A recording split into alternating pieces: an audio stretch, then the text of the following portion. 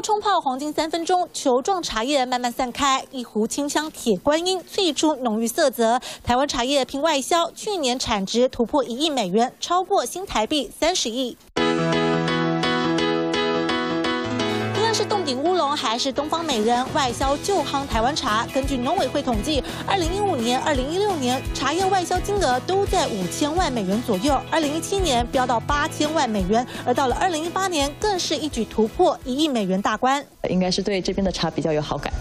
外国民众爱台茶，不只因为品质好，包装也很讲究。知名服饰品牌跨足茶行，内销占八成，在茶叶包装盒印上水墨画，大走中国风，外销对岸人气下下叫。以我们的经验来看，只要包装上可以再着重，再让它提升它的价值的话，我们觉得可以提升大概两倍以上的售价。